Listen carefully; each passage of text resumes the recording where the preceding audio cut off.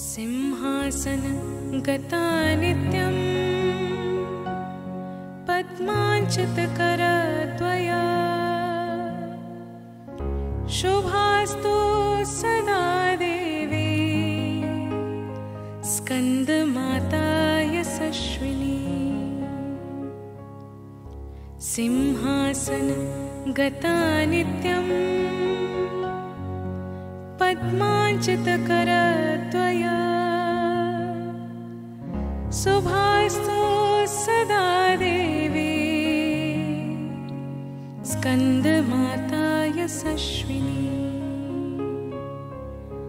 सिंहासन गता नित्यम् पद्माञ्चितकरद्वया। शुभास्तु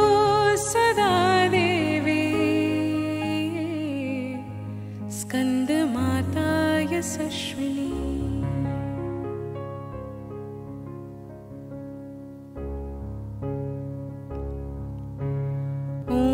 देवी स्कन्दमातायै नमः। ॐ देवी स्कन्दमातायै नमः। ॐ देवी स्कन्दमातायै